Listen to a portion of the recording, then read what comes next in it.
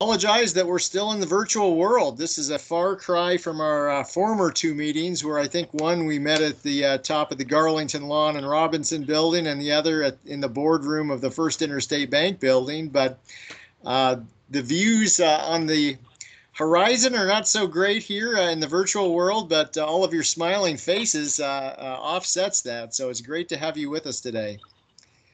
We've got a couple of presentations that we would like to share with folks and updates. One being, and I'm going to shift the order of the agenda slightly since Jimmy Grant needs to leave um, a bit early. So we'll start off talking about the Missoula Downtown Heritage Interpretive Plan. And this will be uh, shared with us by Jimmy Grant and Emmy Shear with the uh, City of Missoula.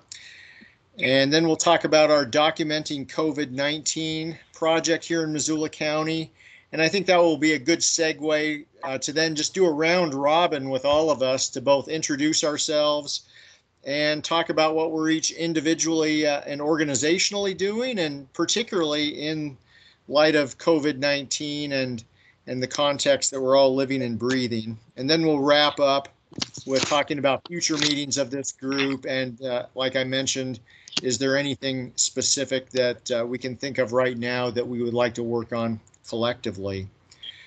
So with that, uh, Jimmy and Emmy, do you want to in introduce yourselves? And uh, Jimmy, uh, I guess it's probably you if you want to share your screen with us, if you had a, a PowerPoint to share. And it looks like you're muted. There you go. Sure, I'll, I'll uh, go ahead and introduce myself. I'm Jimmy Grant. I'm a historian and interpretive planner uh, with Historical Research Associates in downtown Missoula.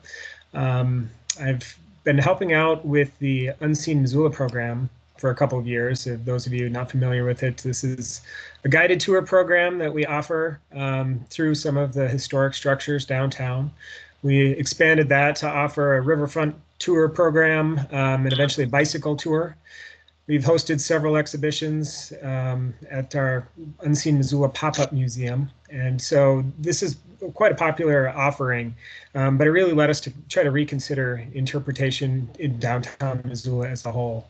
Um, so I'll turn it over to Emmy to have her say a few words about some of the needs for this from the city's perspective. And then I do have a, a an abbreviated slideshow just going over a few major points of, of why we went, why we pursued the interpretive plan, what we hope to accomplish um, with it and uh, how it can be a great model for our communities. So, Emmy?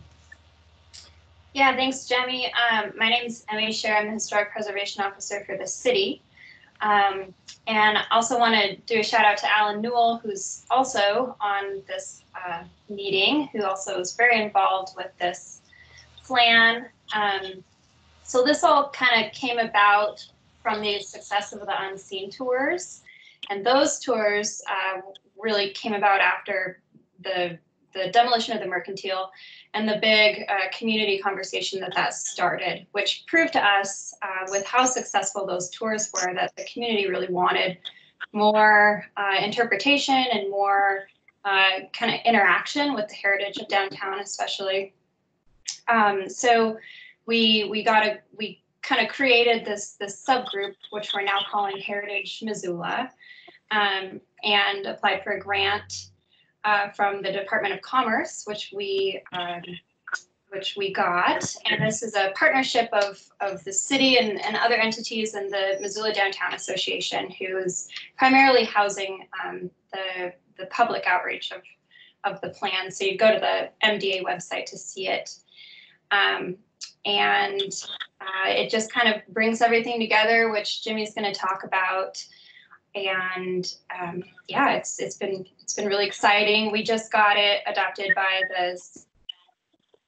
the county commissioners last week, last, last week, I believe. Um, time is flying, so yeah, take it away, Jimmy. And Jimmy, before you get started, uh, just a reminder to folks: if uh, if you have the ability to do so on your end, please mute your lines just so that we can minimize the amount of feedback. Thank you. Jimmy. Okay.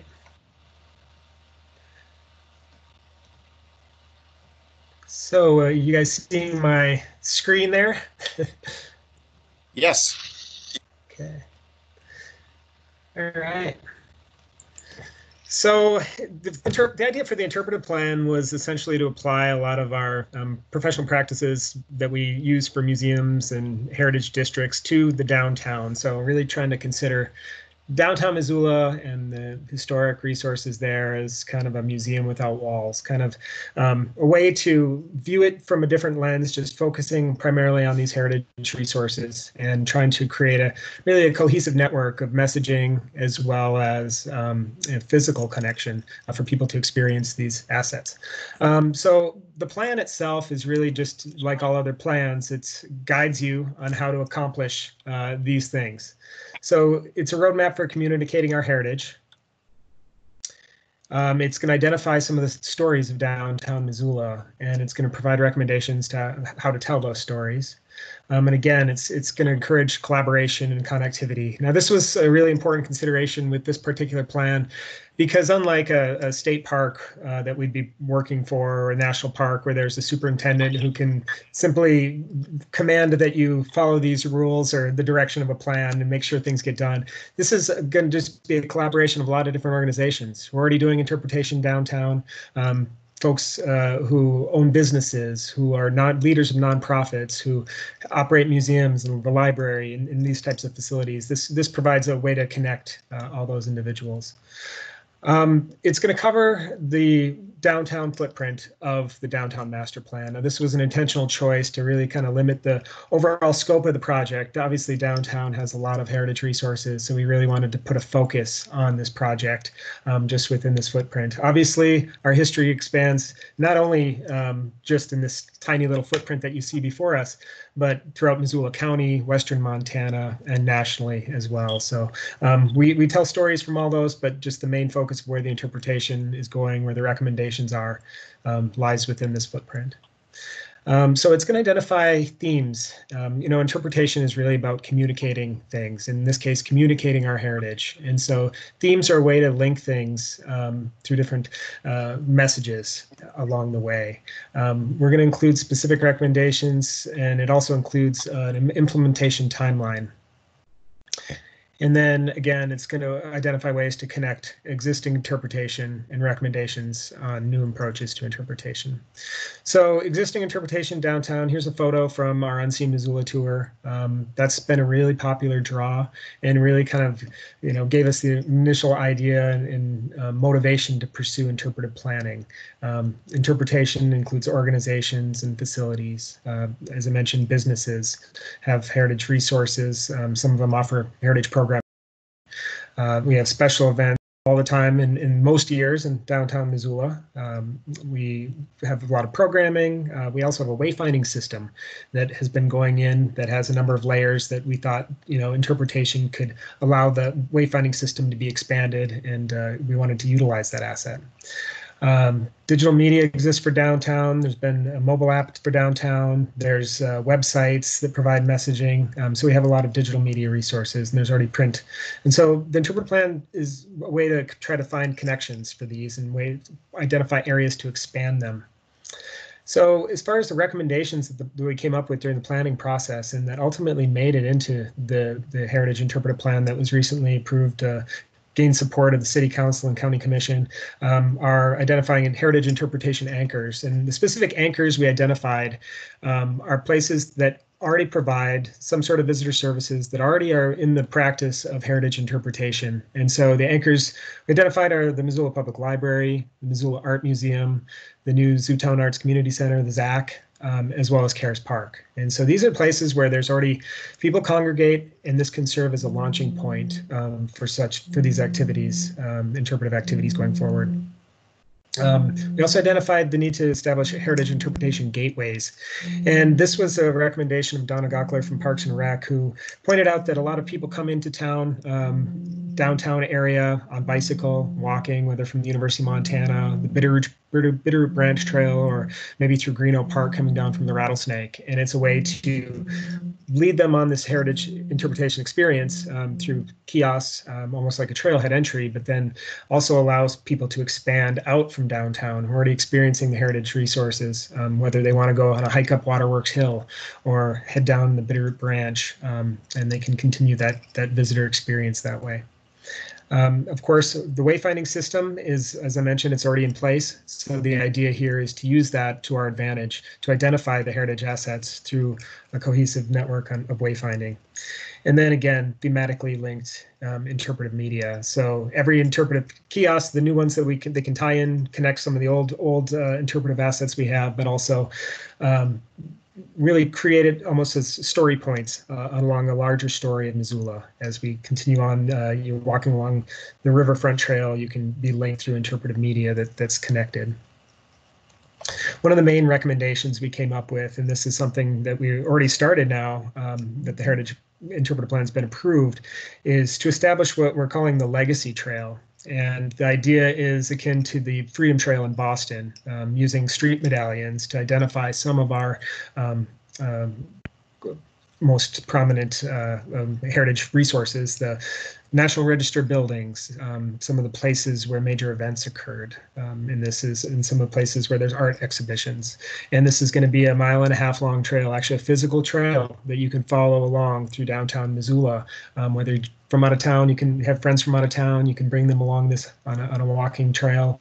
Um, I can imagine school groups and field trips will follow this trail along the riverfront, um, maybe up along past the library, and it's going to connect by um, being able to start at each one of those heritage interpretation anchors that identified. So you can start at any one of those four places um, and be able to pick up a, a brochure that's going to, you know, provide interpretive content for that trail.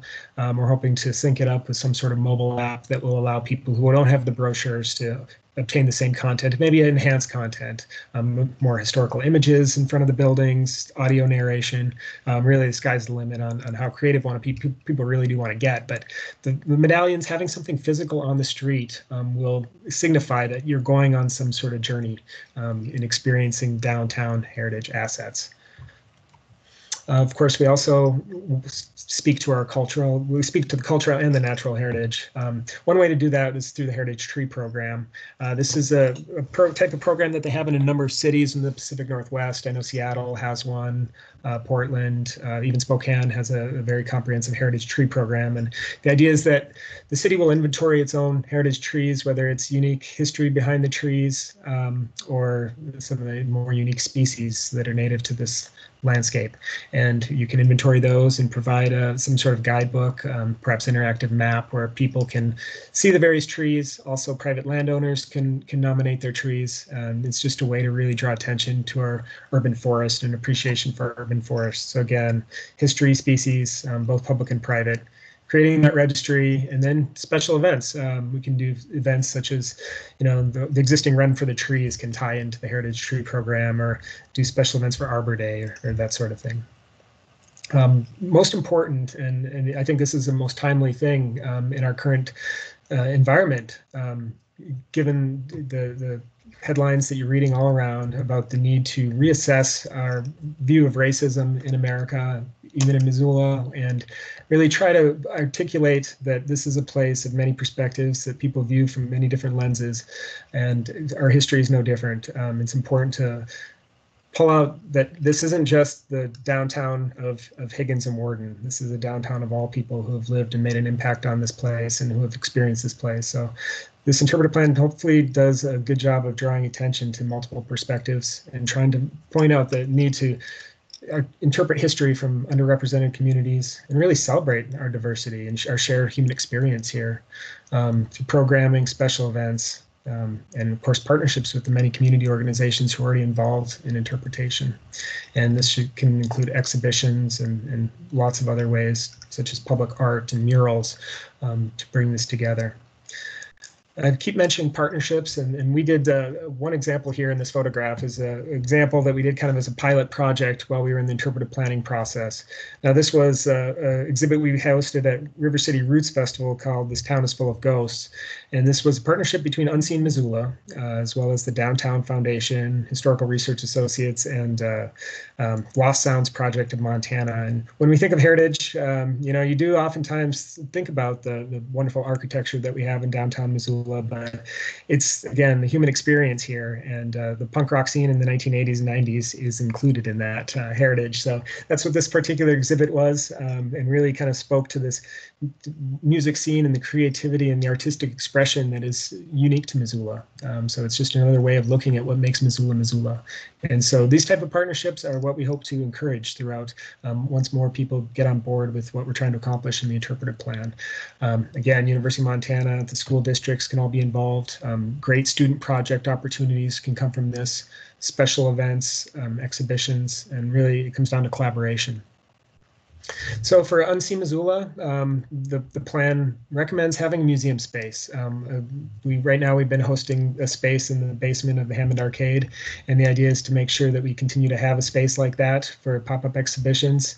Um, that we can rotate in. Uh, maybe some of the cultural organizations from throughout the county can have carry some of their collections in and host a, a pop-up exhibition for a month or two um, as part of this process. Um, we just want to make sure we have a space ongoing um, that, that can host such a thing. Um, we'd like to have expanded downtown tours. Um, special events as well. And then, of course, Heritage Missoula. Um, this is an organizational structure that really came out of the plan, but it's it's meant to encourage collaboration. It's a committee that's trying to promote heritage interpretation and help interp- all the, the recommendations, the dozens of recommendations that are specific to the plan, really come to fruition. So, again, this is it's a collaborative process, um, but really, I think taking this step back and, and looking at um, Missoula downtown as a place full of rich heritage resources, um, you know, the natural, the cultural, the tangible, and the intangible, the stories that we share and know um, are really an important way to communicate our heritage, and, and ultimately, by communicating it, it's preserving it. So that is all there. So I'm going to end the show and try to return you to there. Good job. Uh, thanks, Jimmy and Emmy. Uh, Alan Newell uh, is is the punk rock scene of uh, the 1980s something you're going to be featured in? I, I'm hoping, since you were quite the musician back then, I believe. Oh, me? Maybe you should talk about the '60s. Okay. okay. Alan right. did vol- Alan did volunteer at that uh, that pop up exhibit, and he did share some stories of uh, before it was Charlie's, I believe. Oh yeah, yeah. Very good. Well, uh, anyone on the line here uh, have any questions or comments for Jimmy or Emmy or the downtown uh, heritage interpretive plan?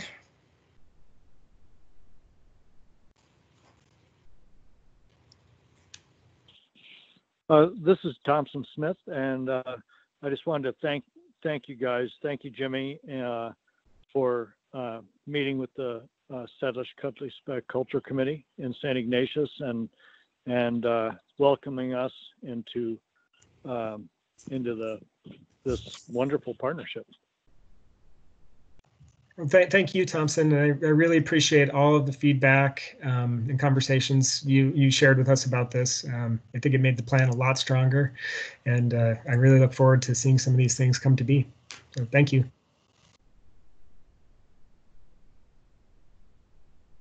Thank you. Anyone else?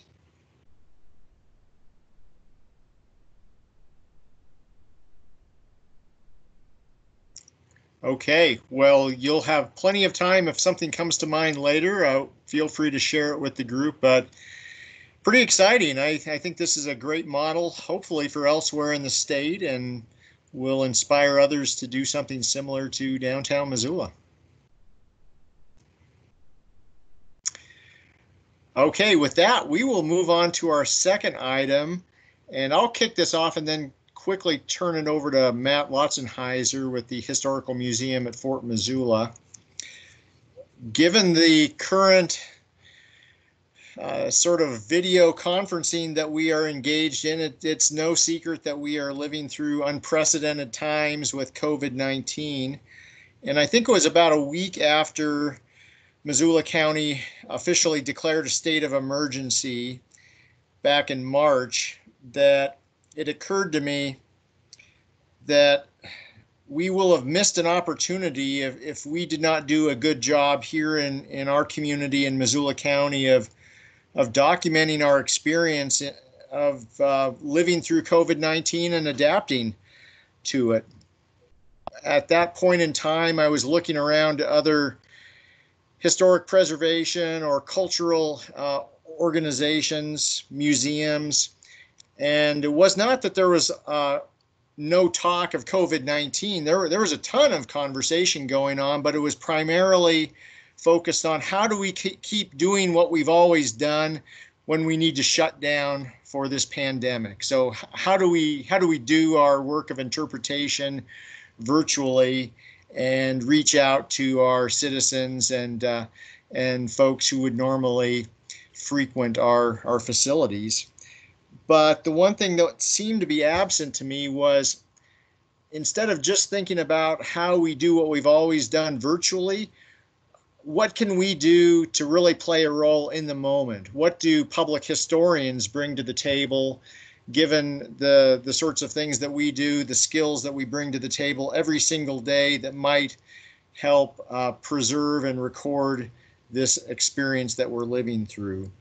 So it was at that point that we started to do some brainstorming internally with Missoula County and look at how we might uh, not only approach this in terms of Missoula County government's response or local government's response, but what is the broader community's response to this, again, unprecedented pandemic? So uh, with that, I will turn it over to Matt. Uh, Matt, if you'd like to introduce yourself and uh, talk a little bit more about what this project is about and where it might potentially be going in the future.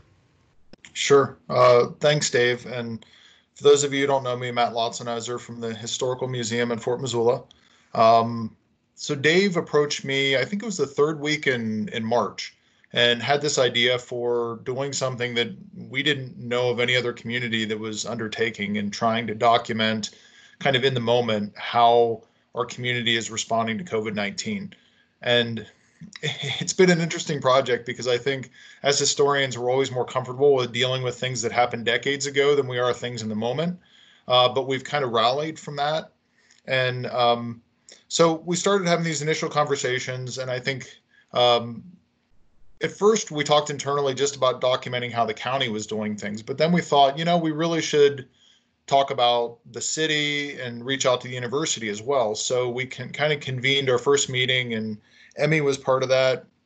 Uh, Jimmy was part of it. A number of the other folks, of course, Alan Newell, who's on the line as well too. And we realized that if we didn't engage the larger community, we'd miss an opportunity not just to document from a county or a government perspective or a university, but also how everyday Missoulians are uh, coming to grips with this and how their lives are changing and, and adapting to COVID 19.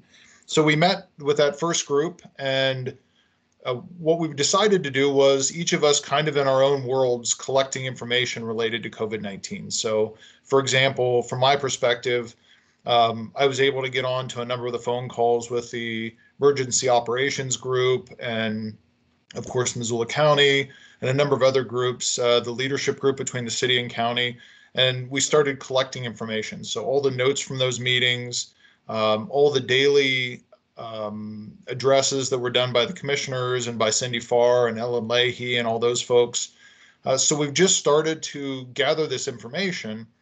And the idea is that our end goal is to be able to produce some sort of a report on how our community came together to deal with COVID 19, but also to take all of this great material that we've collected uh, and eventually create a community archive where, whether it be 40 years or 50 years from now or two years from now, uh, that archive would be available not only to the public, uh, to historians, to researchers, but also potentially to our healthcare community so that if they face a similar ordeal in the future, they'll be able to go back and look at how our community responded and the things we did great and the things maybe that we could have done better. Um, so th- that was the initial idea behind it, and it's we've now incorporated. We brought in the Missoula Downtown Association and Kalina Wickham, uh, who's done worked with some of our nonprofits downtown. Um, gosh, we brought in uh, Seeley Lake and Swan Valley uh, to try to get some of their perspective and their respective communities. Um, you know, we brought in other folks. Uh, Diane Sands has been joined our group, and she's been a great help. Uh, but it's it's been really a collective effort just to gather information. And you know, at this point, we're we're still, in all honesty, gathering it, and I think that may continue for a period of months yet. So this group's now meeting about every two weeks to talk about where we're at. Um, one of the other really interesting partnerships that's kind of on the that's coming in the next couple months is we're working with the folks at the Missoula County Fairgrounds. They are actually going to do more of a virtual fair this year, and they are actually using a number of the themes related to COVID. Uh, for example, in their craft judging and things like that, people will be making masks, um, and those will be judged as part of a, a competition or a contest. So we're working with them, and they're going to preserve some of that information, which should get kind of a grassroots view of how our communities dealt with COVID. Um, in addition to that, um, we worked with the university archives, and they've come up with a link where people can go in and they can actually share their stories with the archives. So everyday Missoulians can click on a link and essentially share a short history of how this has impacted them in their daily lives. Same with organizations.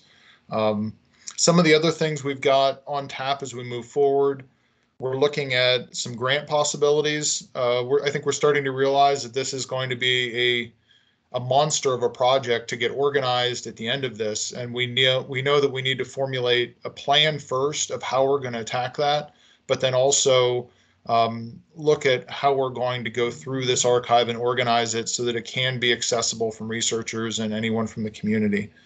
Um, the other thing we're working on currently, and the university's been doing some excellent work on this, uh, is related to oral histories. Uh, there are already a number of interns that are taking down oral histories from folks that have been involved in the, the COVID 19 response in our community. Everything from, I mean, I've done an interview, my assistant director, who also worked at the call center during the whole COVID crisis when it first popped up. She's been interviewed for that process, and there's a number of other folks. So I think we're gathering a lot of really great information. And we're kind of, you know, we're getting to the point where we're now at a crossroads where we need to look at um, how do we move forward? What are our next steps? And I think that's that's kind of where we're at as a group right now. Um, Alan, did I miss anything, or do you have anything else to add? No, I think, I think that about does it, Matt. Um, we are, uh, the university has really been a, great asset to us, as Matt said. And we hope that these oral histories will be able to continue those uh, well into the fall. And particularly if we can get some additional grant funding. What the other thing I would say is, um, and we may talk about this a little later, but um, it would be great to have all the folks on this call be part of this project as well too because all of you have connections in your various communities um, especially those that are outside of missoula because we really do sincerely want this to be a missoula county project and not a missoula centered project um, even though obviously city county government and university are here we definitely want to capture the perspective of some of our outlying communities and some of the other groups in missoula county so yeah Thanks, Matt. And I think part of the challenge that I've at least experienced is trying to communicate effectively to folks who, when they hear the word history, they either start to drift off into a coma or they, they don't, they're thinking uh, decades or centuries ago and are not necessarily thinking about how what they are engaged in right now might be a piece of history. So, for instance, I recently was chatting with an executive director of one of our healthcare facilities here in town, and and trying to explain or posing the question, what are the questions that you would like answered uh, coming out of COVID-19? So as we're collecting documentation, recording our community experience, what are the specific questions that are burning for you that you'd like to, to know about? And it, it took a while, but I we, we finally got um, got to the point where I we were beginning to to talk the same language uh, because as this person started to describe the facility at which she works and oversees operations, it was clear that they have been doing just some extremely creative work in terms of on the fly uh, troubleshooting and figuring out a path forward to respond to this experience.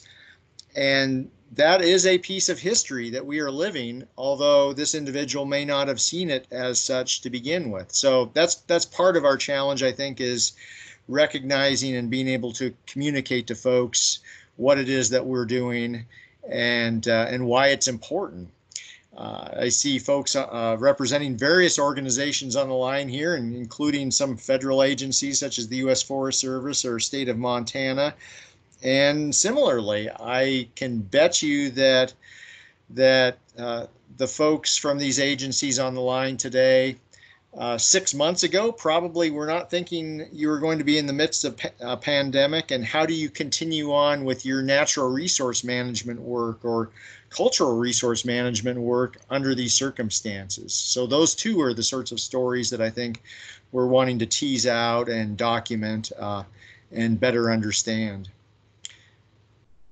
questions, folks. And uh, like I say, uh, the next part of this meeting that I hope to roll into is just some round robin where we can each share what we've been up to, maybe how we've been responding to the work that we do uh, in the midst of this pandemic. And uh, you could also avail yourselves of that opportunity to describe uh, or maybe pose some additional questions about how you might want to be a part of, of this project. Uh, Matt, do you have any specific thoughts if, if folks would like to engage in in this documentation project, what they could do?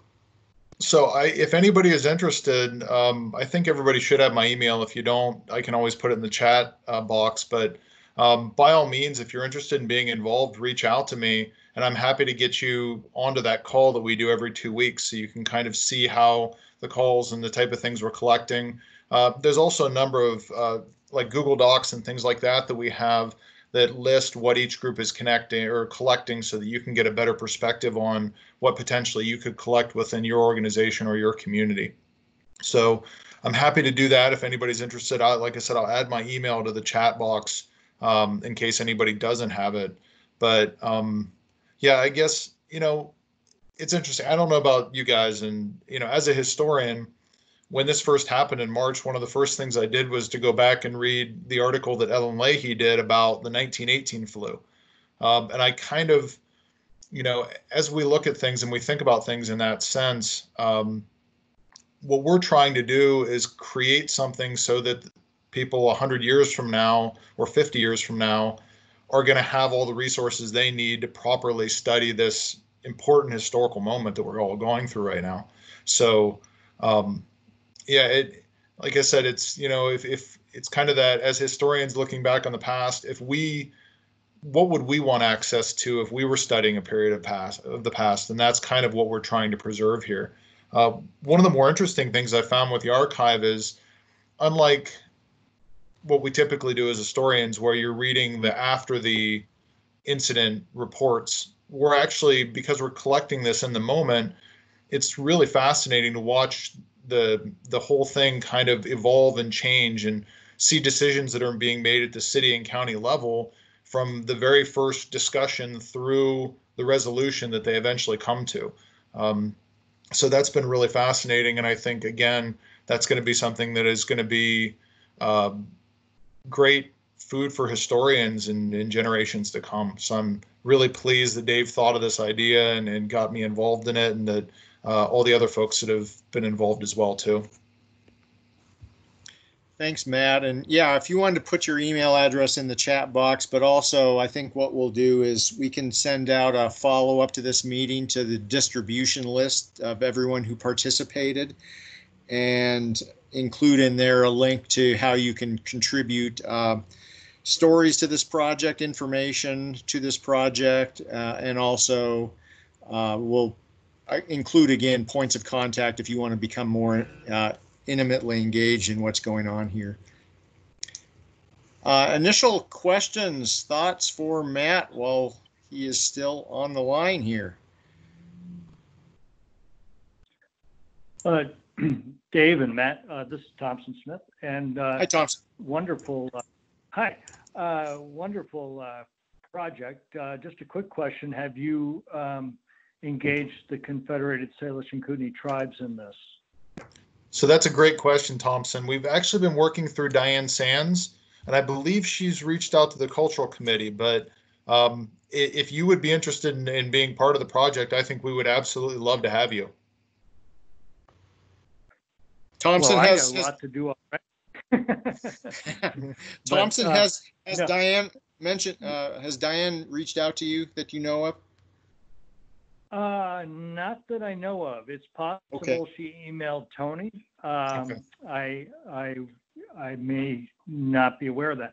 Um, I, I would just, uh, note that, um, many of the conversations I've had with tribal members, uh, since this, this, uh, pandemic really, uh, kind of unfolded have have had a, a very strong um, historical reference point, as you can imagine, with the experience of tribal people with pandemics, and many of them have have felt an almost PTSD-like experience emotionally uh, in engaging with this, as all the stories that have come down from uh, the elders about smallpox and other uh, epidemics in the in the past, and not that distant a past either. Um, they, they've just come kind of flooding back. And, um, but also the, there's a very um, dynamic and interesting tribal response occurring. Um, they established something called the Unified uh, Command uh, dealing with the epidemic and actually just had four days of mass testing events uh, at Arlee, Pablo, Polson, and Elmo uh, over this past week. So um, uh, I don't know if anyone was videoing those things, uh, but they were they were pretty amazing. And um, I would also just uh, mention that Ellen uh, Leahy also did a wonderful article about the last uh, documented smallpox epidemic in Montana, the epidemic of 1901. And um, she generously shared a lot of her uh, information with me. And we've been kind of gradually working on a history of of the uh, Salish and Kalispel people uh, and uh, smallpox and non-native diseases more broadly. But um, I would just encourage you um, to reach out directly um, to some of the tribal folks. Thanks, Thompson. Anyone else right now with a comment or question?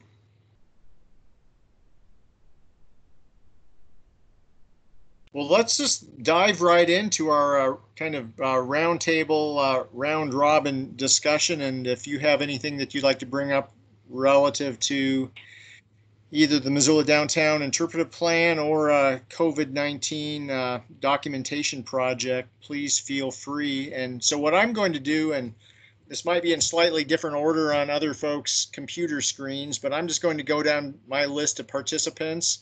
If folks want to introduce themselves, who they are, who they're affiliated with, and if there's anything uh, particular particular that you'd like to share about the work that you're doing uh, to share with the group, uh, please do. And it looks like uh, Alan Newell, uh, you are at the top of my list. Uh, anything else you want to add? No, just for folks who don't know, I'm, I'm uh, on the uh, Missoula Downtown Foundation. So foundation's been very involved in, of course, both of these projects since the, since the start. So um, I think I've added what I can to that, but if anybody has questions about it, we're really trying to work with the downtown businesses and the communities, uh, nonprofits in the downtown as well to try and document their response. Uh, so Great, thanks. Uh, Chet Crowser.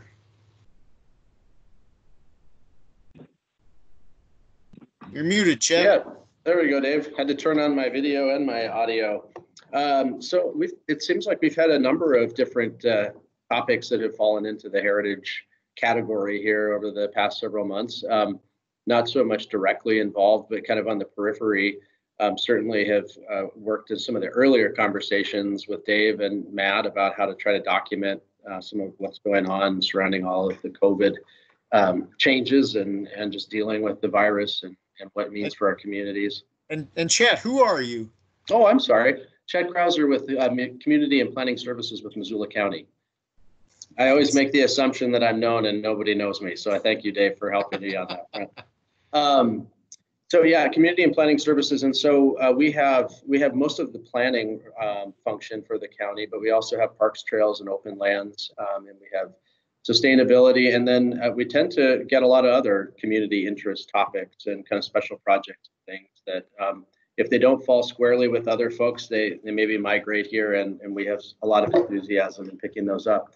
Um, so in addition to working on, on the COVID-19 documentation front, um, we've also just had a lot of other things that have been coming forward, like the support uh, for the downtown heritage interpretive plan um, and working with the commissioners to get that to um, to Emmy and to Jimmy. So that was good. And um, just another opportunity to have those conversations about what's going on heritage wise within the community. And that prompted some interest uh, in that discussion about how we might use that effort to connect to our more rural communities and through some of the community councils to um, hear what some of their stories might be, or at least to prompt a discussion about how they relate to some of the heritage values and, and um, conversations going on in their communities. So, um, so stay tuned on that front. We'll see what, what sorts of things come up there. Um, we also had a, a, register for, or a National Historic Register nomination uh, that the county commissioners were uh, asked for, for an opportunity to provide input. So we did that. That was the Stark House nomination up in the Condon area. So that was kind of fun just to start to talk a little bit about that. Um, and it was just a quick exposure, but I think again, another example of uh, heritage discussions and properties that exist out there in the county. And we're starting to pay a little bit closer attention to some of those things. Uh, we also have been talking about Lalonde um, here, not so much during the COVID timeframe. We were at a little bit of a hiatus and had to postpone a couple of meetings, but moving forward, with a smaller steering committee. Uh, we had done some initial focus group meetings uh, earlier on. Gosh, Dave, that seems like forever ago now. It was probably, it probably was several months ago that we did some focus group meetings to just get some input on um, what folks thought of a framework that the, the smaller group had established in terms of trying to identify some of the heritage resources out at the Lalonde Ranch uh, here in Missoula. Um, we'll probably have that wrapped up at this point, both the summary of those uh, of the input that we received as well as the a framework to give us some potential guiding direction there and and and a direction that's aimed really at committing to the historic and and uh, heritage resources on the site as opposed to maybe exploring other options there that could would uh, potentially threaten those resources. So that's been another topic that we've had in conversation. And uh, and then just continuing to to talk a little bit about what the the county might consider as far as being more engaged in heritage resource management uh, overall, and again trying to identify those opportunities that exist out there. I was able to steal about an hour of Emmy's time to visit with her a little bit about the work that she does and uh, the role that she plays for the city and things she's observed in the county more broadly, um, just to try to kick around the idea of, of uh, you know, if Missoula County was to look at that and, and try to have a bit more of a programmatic level of involvement what that what might that look like. So lots of kind of bigger picture topics really and and things that are um, probably just involved a little bit i'll call it dipping my toe into a little bit more of what's going on countywide but um, i really appreciate uh, the heritage community generally and i uh, have had a bit of a past exposure with state parks on that front so i always just kind of enjoy it just for myself anyway and have it as a near and dear sort of topic so that's uh, in a nutshell kind of what I've been up to. Thanks, Chad. And I, I would just I'll just expand on a couple of things uh, since we're talking about Missoula County Heritage Initiative. So Chet mentioned the historic Lalonde Ranch, which for those folks who don't know where that is, it's out uh, by Airport Boulevard, uh, uh kind of across uh, the street from from Big Sky Brewing, and uh, and it's that old, cool-looking historic farmstead that you've probably driven by a million times and may or may not know that that actually is uh, owned by Missoula County and and arguably has uh, one of, if not the oldest standing structures in its original location in Missoula County, an old log cabin. So uh, uh, we will be, or I will be, sometime later in the month of July, bringing forward a resolution to the commission that would firmly establish Missoula County as preserving this site for its historic and uh, and uh, heritage qualities. It would adopt the strategic framework that Chet alluded to. It would put Missoula County on record as supporting a National Register of Historic Places nomination for the site, and it would place uh, coordination for stewardship activities at the site within the wheelhouse of community and planning services. A couple other quick things. We've already talked about the COVID 19 documentation project. Missoula County, along with the city of Missoula, are looking at uh, trying to acquire the federal building, the historic federal building in downtown Missoula, which has sat nearly vacant for uh, a number of years since the Forest Service relocated its assets out to Fort Missoula. And so that would certainly have a uh, uh, an impact on stewarding yet another historic property in downtown Missoula and and uh, allow for both the city and county to play a role in that. And finally, I just mentioned that I have been exploring the possibility and what it would take to, uh, as part of the bridge reconstruction project on the Higgins Avenue Bridge, rededicate the bridge and rename it uh, for uh, uh, a name for which uh, the uh, Confederated Salish and Kootenai tribes or the Salish and Kalispel Culture Committee would uh, uh, put forward a name that would be more appropriate than yet another old dead white guy uh, that uh, uh, pretty much uh, we have a plentitude of such names throughout our city for infrastructure. So that's ongoing, and I've had conversations with Thompson, who's on the line, and others, and I'm optimistic that we'll find a path forward for that. Emmy Scherrer, do you want to say anything else? Uh, yeah, so again, Emmy Scherrer with uh, City Historic Preservation. I've been working on the COVID documentation um, that Matt was talking about, as well as the heritage plan that Jimmy was talking about, as well as uh, working with Chet and Dave and everyone else on the Lalonde and the federal building procurement.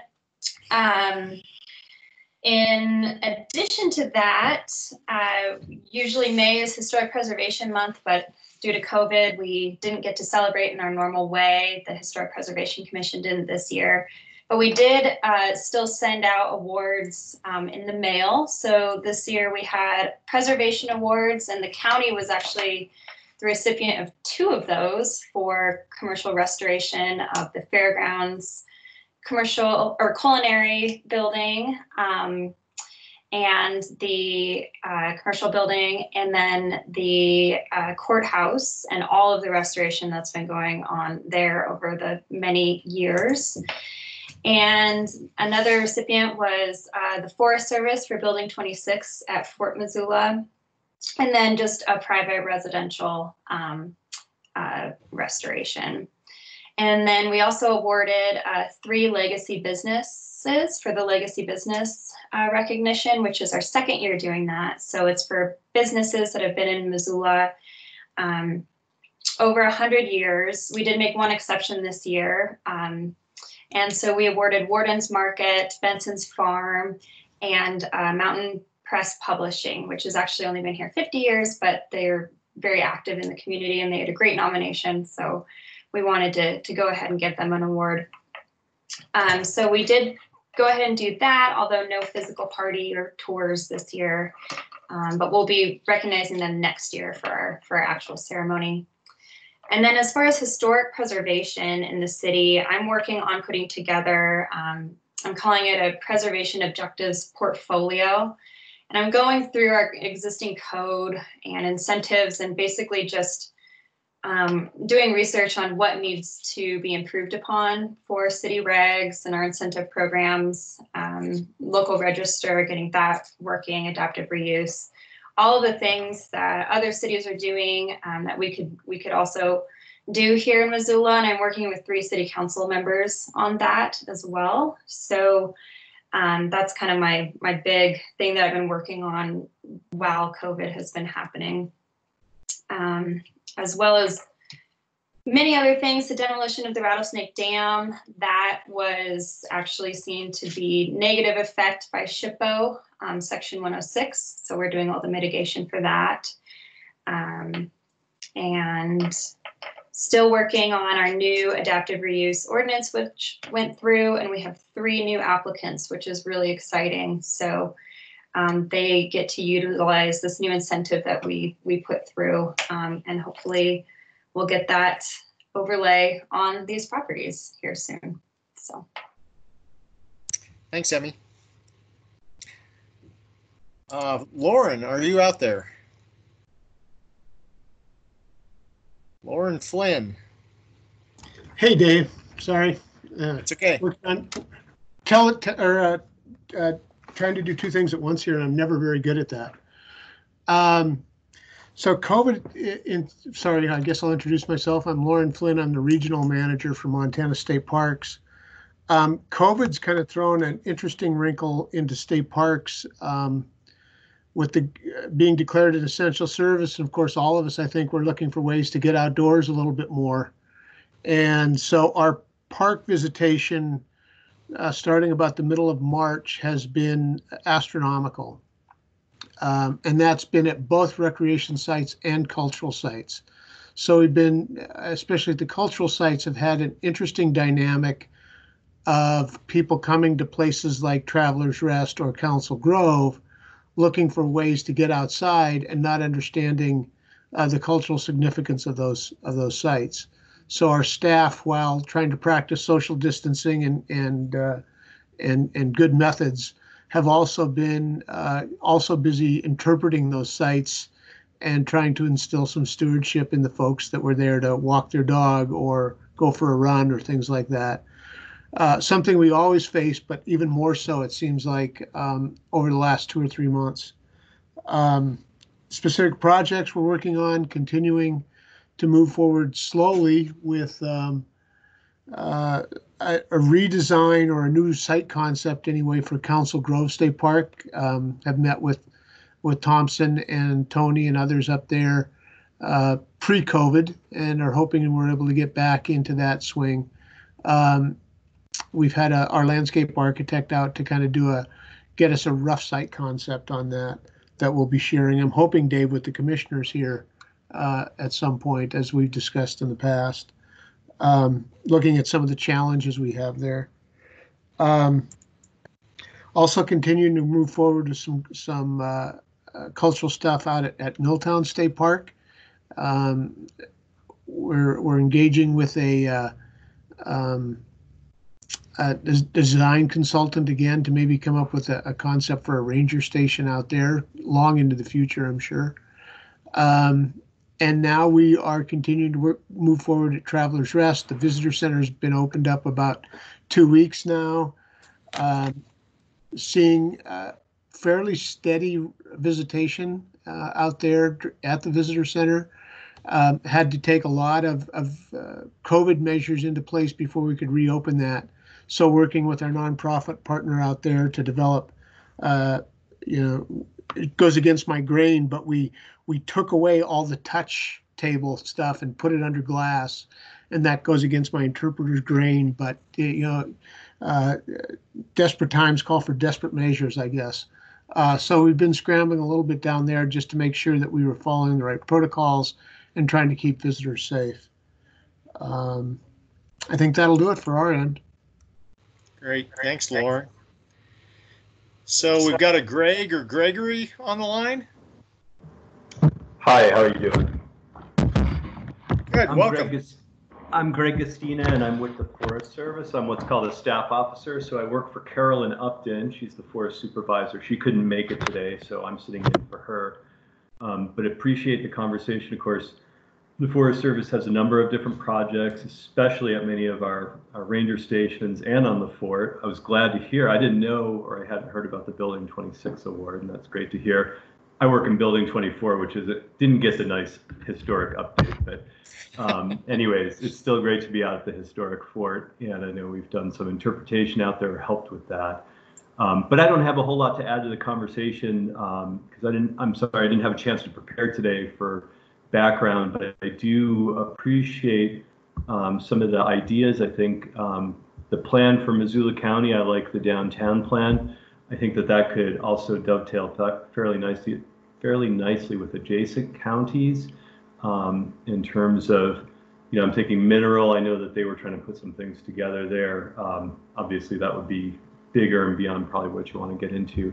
And then on COVID, I agree. We had it's been really interesting the switch from dealing with COVID.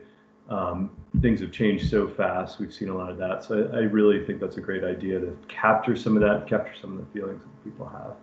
Um, anyways, that's it for me. Thank you. Yeah, thanks, Greg. And please uh, convey our uh, best wishes to Carolyn, and uh, and also if there are opportunities for uh, greater heightened collaboration between the Forest Service, the Lolo National Forest, and and Missoula Missoula County on heritage uh, efforts, please please let us know. Will do. Thank you. Uh, Jim uh, McDonald, do you have anything else you want to add? Um, hello, everyone. Uh, Emmy and Matt, of course, have um, talked about some of the things that we've been involved in, so I won't uh, do that. I just want to say that the Montana Preservation Alliance is also asking different communities across the state to uh, put together their thoughts on COVID-19 and trying to get a broad perspective across the state of Montana. And uh, so there's been some of that being done, and I'm sure they'll be contacting Missoula here too to just see, you know, how this all can tie in together. But it's uh, pretty important that we uh, look at that. The other thing, and I, I guess I can announce now because it was on on uh, the news the other night, but um, the National Trust has the uh, African American Culture Heritage Action Fund that they um, that they uh, um, put out every year, and I think there were 540 applications this year, and um, the uh, State Historic Preservation Office um, in Helena was one of the final 53.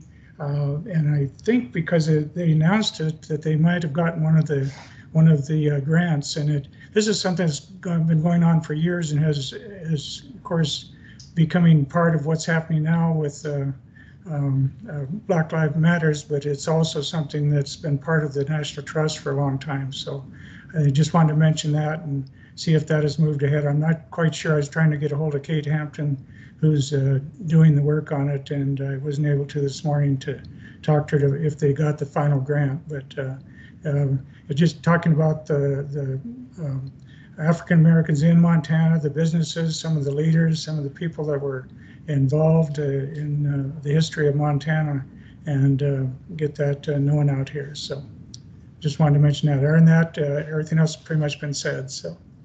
Thanks. Thanks, Jim. And that's Jim McDonald with A&E Architects, and you're on the Historic Preservation Commission. And what else, Jim? Oh, thanks for taking. I'm also a trustee on the museum um, board. Yeah. Okay. Are you listed uh, on the National Register yet, Jim? Uh, not yet. Okay, we can work on that. okay, Judy Matson.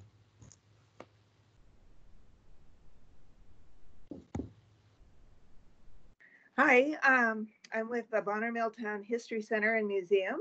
And um, unfortunately, uh, because we can't meet the guidelines, for one thing, we're all uh, um, historic artifacts ourselves who work out there, except for one person, Kim Brigaman. Um, we are closed indefinitely until we can meet the guidelines. We're a very hands on um, institution and in a very small space with high risk people. So it's not working out the way we had hoped. We were had hoped and planned to have it extended hours for the summer. Instead, we're um, totally online for our offerings. One thing that has happened that was good was that normally we um, host the first grade class at Bonner School, Kristen Vogel's class, and uh, they come and learn how to dial telephones and see how a wringer washer machine works. That didn't happen this year, so we um, produced a walking tour, which was used by the entire school with um, historic sites for a walk around Bonner, something we've been intending to do someday. And because of the pandemic, someday um, came, which is going to open up possibilities, I think, for the teachers to reach out for certain parts of that walking tour that are particular interest to a lesson or a unit they're doing in the future. So we hope to become more involved with the school through that. And uh, we're also just continuing to uh, catalog our oral histories and our videos at this point. So I think Minnie Smith's on the line. She may have some more things to add. Yeah, let's let's go to Minnie. Do you have anything else you want to jump in there with? And uh, looks like you're muted, Minnie. So uh, if you could unmute and go ahead and introduce yourself for the folks. Uh, I'm Minnie Smith, and um, I work with Judy at the History Center, but as she said, it's not been open. Um, I've been in England uh, since this all began, so I just got back maybe a week, a little over a week ago, so I haven't caught up with a lot that's been going on. So this is all very instructive to me. It's very exciting, I think, to hear all the things that are happening, positive things that are happening. Um, anyway, uh, uh, no, I don't have anything more to add about the, what the History Center is doing or not doing. Um, but we are, uh, we had an intern um, before all this happened who was uh, putting all our info, all our di digitizing all our information, and she's been able to complete that. Isn't that right, Judy? Yeah, she, she has been able to complete uh, the work in progress. Huh? The work is still in progress. Progress. Okay. okay. Anyway, it's in progress. Okay, that no, I don't have anything more to say. But it was it was interesting being in England and um, their lockdown was I think maybe more stringent than here in the states. So uh, that was interesting too. Well, welcome back. Glad well, you're uh, thank you back home safe and well. Thank you, Minnie. Uh, Kim Briggeman, are you out there and anything you want to add?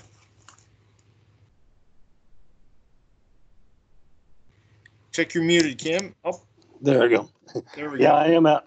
I am out here and just uh, I I'm trying to keep up with all of this in the role of, I guess, as a Missoulian reporter, but also um, with Judy and Minnie at the Bonner Milltown History Center.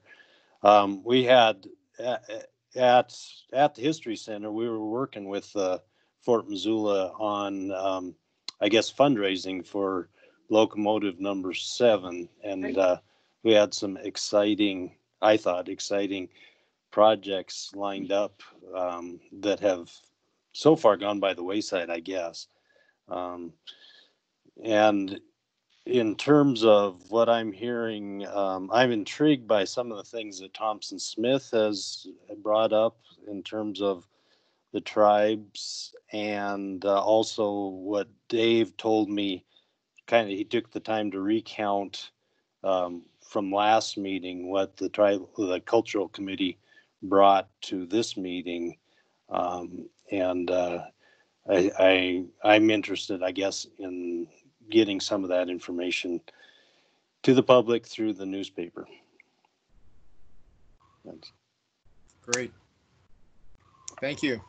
Thank you. Yeah, thanks for joining us, Kim. Uh, Matt, Matt, are you out there still? Would you like to add anything else that you didn't hit on earlier? Sure. Um, so we've actually been incredibly busy uh, in the midst of all this. I think um, there was part of me that thought, oh, this is going to be kind of a quiet time to get some back burner projects done, and it, it really hasn't been. Um, between the the COVID project and a number of other things here at the museum, we've been we've been hopping. Um, first and foremost, we are open. Uh, we opened the museum to the public again on June 1st. Uh, we worked with the county health department to come up to what we felt would be a safe environment for our visitors, our staff, and our volunteers. So we've, you know, the county's been wonderful with helping us with hand sanitizer units, with a plexi shield at the front desk, uh, plenty of masks that we can give to our visitors. Um, so that's been a real positive, and we saw. I think last I counted in the first 10 days or so we were open, we've seen about 250 people come through the museum. So it's it's been good to see. It feels great to be open again. We're all still a little nervous about it, as I'm sure all of you are as well too. Uh, but but it's good to be back providing that service to our community and to visitors to our community. the two big projects I'd like to mention, um, and I think Kim hinted a little bit about our locomotive project. So we started working on this. Um, it was kind of interesting. I think we all know how occasionally somebody just essentially falls into your lap uh, that makes a huge difference in our organizations. And we had a gentleman by the name of Larry Ingold uh, who had retired from the railroad industry out in California and bought a house down in Hamilton. And he approached us about two years ago now about our locomotive.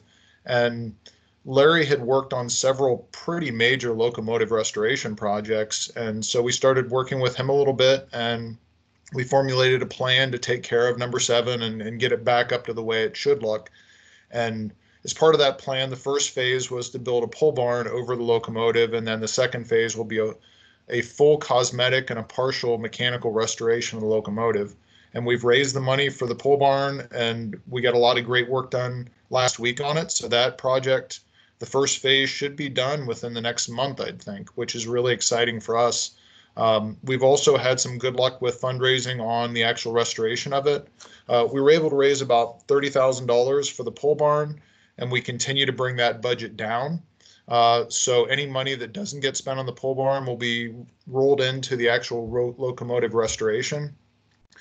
Uh, in addition to that, as part of the Missoula Gives campaign this year, we raised another 14,000 for that. So we're probably sitting at about 20,000 towards the restoration of the locomotive and we still have a ways to go. We're looking at probably about 90,000 total for that project, but it's coming along uh, pretty quickly and it's been great to see and the community response to that as well too. So that's the locomotive project. Uh, the other thing we're working on right now, and we hope to get the first phase of this project done by the end of the summer, early fall, is um, an assessment of the two original alien detention center barracks that we've moved back to Fort Missoula in the last two years. Uh, one of them was on the DNRC campus, uh, and they were looking to build a new maintenance shed, and it sat in that spot. So we worked with them to bring the building and move it back to Fort Missoula and put on a foundation. We then constructed a second foundation and worked with Missoula County to disassemble Building 18 at the fairgrounds, uh, which will be reassembled eventually on that foundation that we've constructed.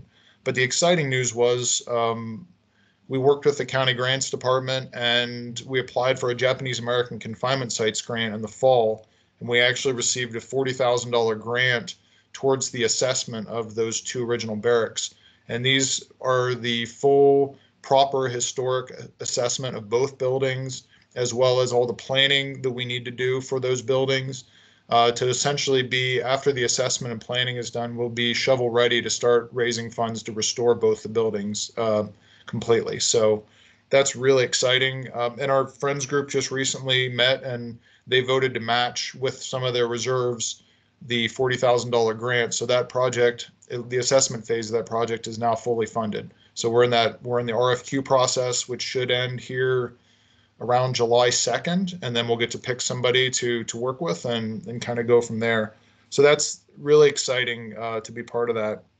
Um, the other thing I wanted to mention, and, not to brag about the museum a little bit, but we did uh, receive an award from the AASLH, an award of excellence for our exhibit in our Heath Gallery, which was um, the uh, No Enemy Movement Observed. It was about a Frenchtown Marine, and it focused on one man's experiences in Vietnam in 1966 when he was drafted and spent 13 months as part of the Marines. And it's it's not your typical war exhibit. It's definitely much more of a personal look at his journey from, as he refers to himself, as a basic, basically qualified Marine, and the impact that that service for 13 months has had on his life uh, continuing on. And we were able to open a lot of discussions about things like PTSD and those. So we were really proud of that exhibit, and it was wonderful to be recognized by AASLH on that one as well. So as you can see, things are kind of chugging along. So, yeah, thanks, Dave. Yeah, thank you. That's a lot of good stuff. Uh, Catherine, would you like to introduce yourself and tell us what you have going on? Sure. Uh, this is my school account. So I actually I go by Casey. I'm Casey Dizerns Morgan, um, and I am a not so new anymore co-president of Preserve Historic Missoula. Um, so this is my first um, one of these roundtables, um, and so it's nice to e-meet you all. Um, let's see, I am getting my PhD in anthropology and historic preservation from the University of Pennsylvania. Um, and so I work in Mexico, but um, live in Missoula now. And my husband, who works with Jim at A&E, is the other co-president. His name is Matt Morgan. And so uh, we had a lot of plans for sort of ramping up our advocacy and and and really trying to get um, things going again with Preserve Historic Missoula. Um, but COVID sort of put a damper on a lot of our plans.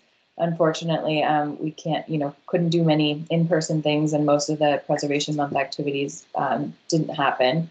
Um, so right now, um, we're sort of reassessing, hoping things will open back up so that we can do some more public lectures and education. We're really trying to um, beef up that side of um, uh, of what we do um, and also do advocacy. So it's nice to meet all of you. And um, if there's anything, um, you know, we've been working pretty closely with Emmy in trying to see where we can help out with the more the advocacy side. Um, we were going to do a endangered list again, but we did not do that because we thought people didn't need more bad news uh, in the time of COVID. So we did start nominations for favorite historic properties but uh, um, it didn't really take off. I think people had a lot on their minds, so we may revisit that in the fall and try to try to do that again and and sort of highlight some of the great historic resources around town that people um, you know may not know about, may not know the history of, um, and so keep that going. Um, and then um, yeah, uh, looking to do some more events. We had been doing some events with Imagination Brewing. Um, and, and getting um, some public lectures there. Uh, we did a, a growler uh, carrier build night there um, back in February, I guess now. Um, and so we'll do try to do that again once things are are open. Um, but um, our I'll put our email address in the chat, and we're open to sort of any collaboration and any advocacy things. we're just trying to get that started up again. Yeah, thank you. And if things go as planned with any luck, uh, we will help you take one of your most endangered sites off your list uh, by way of the Lalonde Ranch. So uh, that will hopefully be a success story. Uh, Paul Filicetti. Sure, thank you very much. Um, my name is Paul Filicetti. I'm an historic preservation architect with A&E Architects. Um, and uh, I'm also a member of the Historic Preservation Commission. I'm on the board at the Missoula Art Museum, and I'm on the City Cemetery Board. I'll just talk briefly about some of the things that are going on. Aside from things that Emmy mentioned with the HPC, HPC is also looking at a Missoula Historic Preservation Plan or updating our plan. Um, it's probably a long range project, but it is something that's in the works and kind of out there. Uh, Emmy mentioned the awards project. I mean, uh, architect who's working on those fairgrounds projects and and commercial culinary building and submitted those awards, as well as a courthouse project. That one is just just wrapping up. Hopefully, within the next six months or so, we'll have the new copper doors on the building and we can finish that up. Um, celebrate the end of that project. Um, in terms of MAM, Missoula Art Museum certainly in terms of what they're doing and looking at the federal building across the street from them as a potential place to for uh, growth for the art museum. That's something the board talks about a lot. In terms of what's going on at the city cemetery, um, there was a discussion of COVID-19 and the impacts in terms of internments out of the cemetery the last board meeting for what it's worth. But as well, the, the cemetery is going through a strategic planning process, and we hired a consultant out of New York to work with us on, and they developed a strategic plan. And uh, we did a board review of that and sent it back to those comments back to the the group for uh, kind of a draft to update their draft comments. So we're expecting that to come back in the next month or so. But that'll be eventually going out to the public. One of the components of the plan that the board opposed that was in the in their recommendations was to remove some of the roads out of the historic portion of the city cemetery or to develop, as you can imagine, develop additional grave sites because that's the more favored part of the, the cemetery. So board was opposed to that idea, and uh, I think it was made pretty clear, hopefully to that consultant, that I'd like to take that out of the process.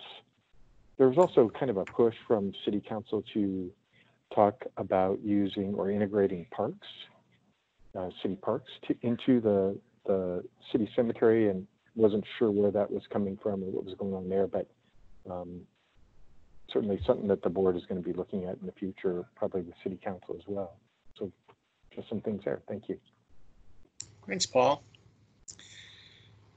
So this is where uh, uh, having uh, uh, a first name that is uh, towards the end of the alphabet comes into play. So some of you got the short end of the stick in terms of having to wait so long. So finally, Sharon, what would you like to share? Uh, I'm on the board of the Upper Swan Valley Historical Society, and I just had a couple of things. One is that uh, we were taking the lead, especially Steve Lamar, our president, in the getting the designation for the Stark House.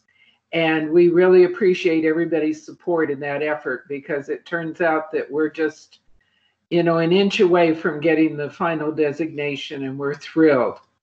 Um, with reg- we're also involved in the documenting the COVID project, and there will be an article in the Pathfinder this next week that ties this year's experience to the 1918 experience in the Valley.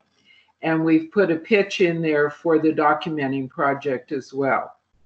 And we are opening up on the 3rd of July, so we're deep in the throes of the protocols for what we have to do to make that safe for our guests. And that's about it from us. All right. Always great to hear from our friends in the Swan. Thanks, Sharon. Uh, Thompson, looks like we finally got a video feed of you. And it looks like you're muted.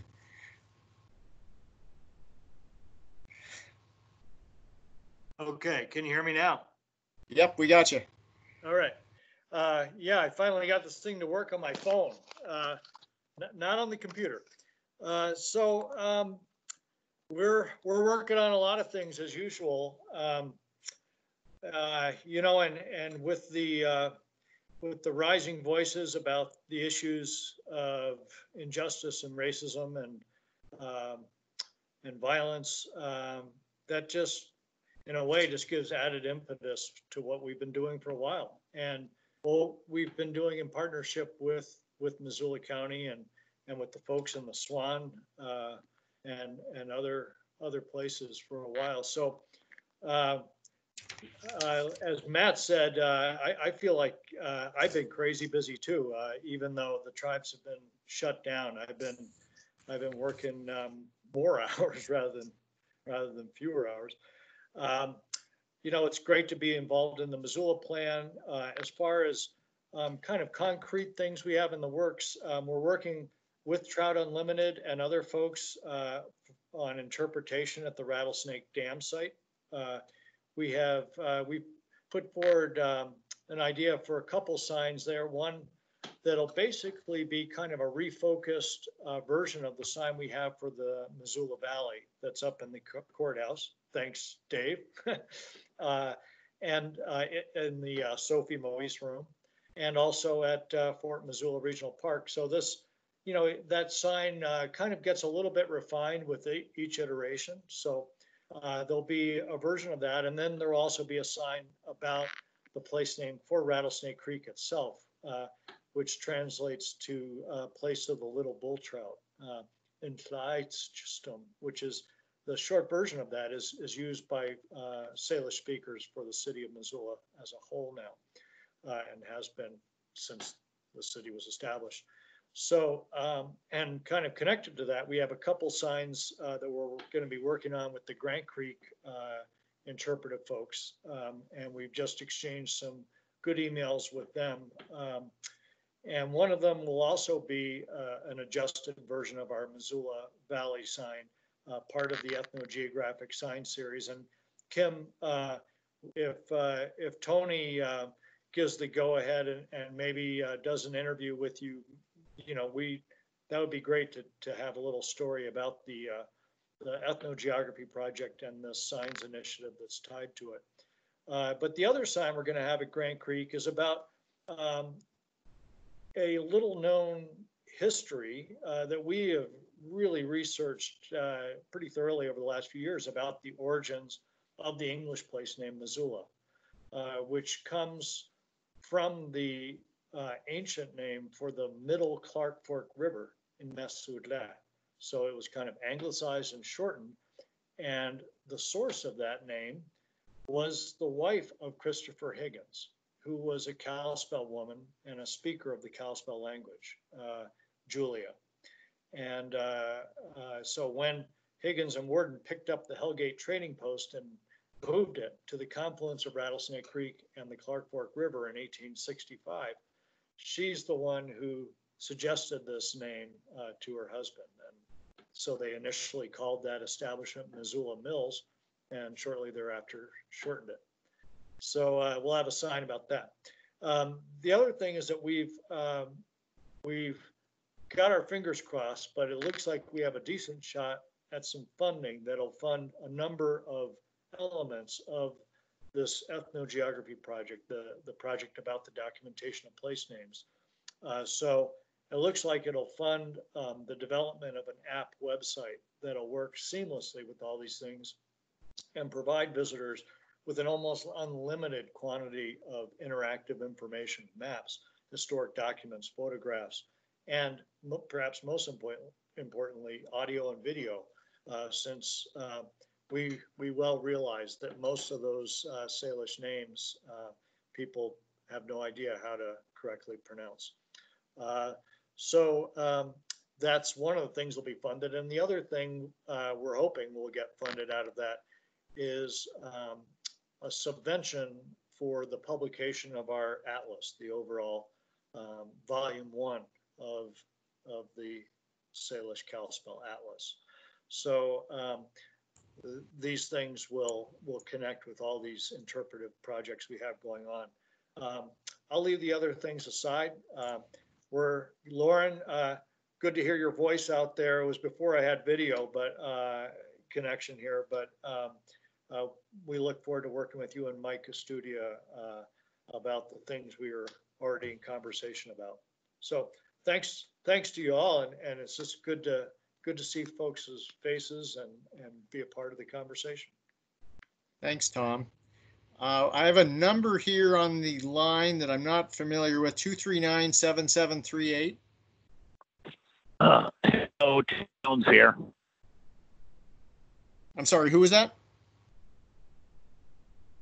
Hello, Tate Jones here. Tate Jones. Oh, Tate. Yeah. Hi, Tate. Uh, tell us what's going on out at uh, How are you doing? at the fort in your neck of the woods. Oh, very good. Thank you. Executive Director, Rocky Mountain Museum of Military History, and President, Northern Rockies Heritage Center, both at Fort Missoula. And we are open and operating. Um, we are going to, be are going to have the presence at the July 4th, regardless. We won't have a big celebration going on. We will have the Sons of America 18th Army demonstrations and disperse on our front lawn. 14th Center going to have a out program um, of centers from the University of Idaho on the Civilian Conservation Corps. So I'm caveating all this. I think there's a good chance that um, we may have to pull back. I think Montana's disciplined work in shutting down might be undone by states that just never ended. It, that's what I tell public uh, relations releases. We appreciate it if local government um, could uh, provide or museum institutions have through this. Again, we find fall in an category. We're not a critical service like a grocery store. Don't really well like sports. There's um item I'd love to Jesse at the Historical Museum has put together marketing brochure, Zula and cultural and she's put it out on template so each print is met would love but I'd like like kind of about charge that and find some funding to really big printing out there and distribute. So I mean, maybe a Missouri Missoula County Fund might source that. I sponsor that an option if we can get that. All done.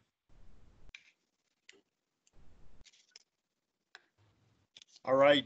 Thanks, Tate. You're breaking up there just a little bit, but I think I uh, caught most of that. Uh, as far as the templates uh, of the brochure go, if you could uh, distribute anything that you have on that front to me, uh, and I would be happy to uh, push that out to the group here.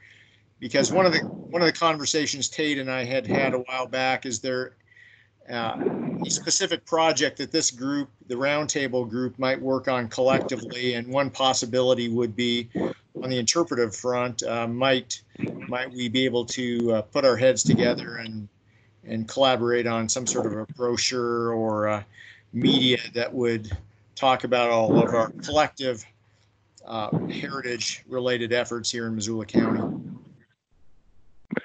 Very good. Did I miss anyone? I think I hit everyone on the line. Is there anyone out there who I missed? Well, I want to be respectful of folks' time, and it, it seems like there is always just a ton of great work going on, and and uh, we are at the end of our uh, hour and a half together, which flew by. Do folks find these meetings useful? Uh, I guess that's that's the baseline question, and we've been trying to do these twice a year, once in the spring or summer, and another time in the fall or winter.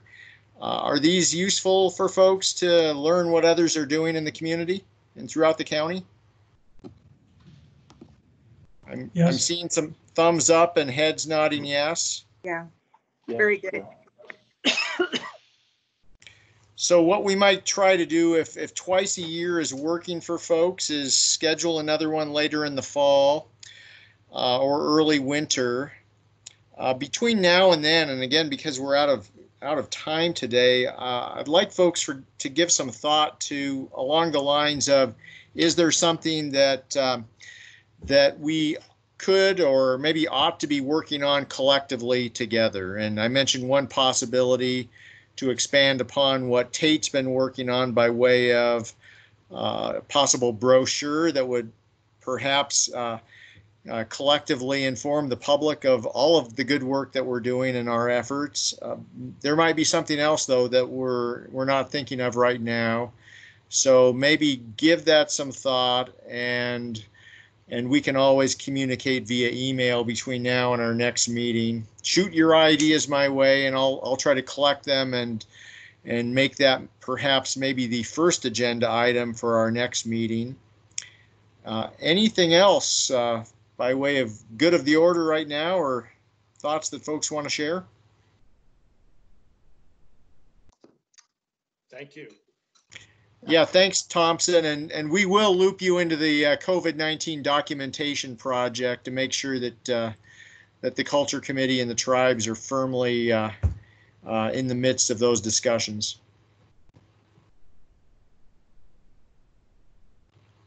Okay, going once, going twice. Well, thanks, everyone, and uh, keep up the good work. Be healthy and look forward to chatting with you uh, between now and the next time we assemble. Thank you, Dave. Thanks, Dave. You bet. Goodbye.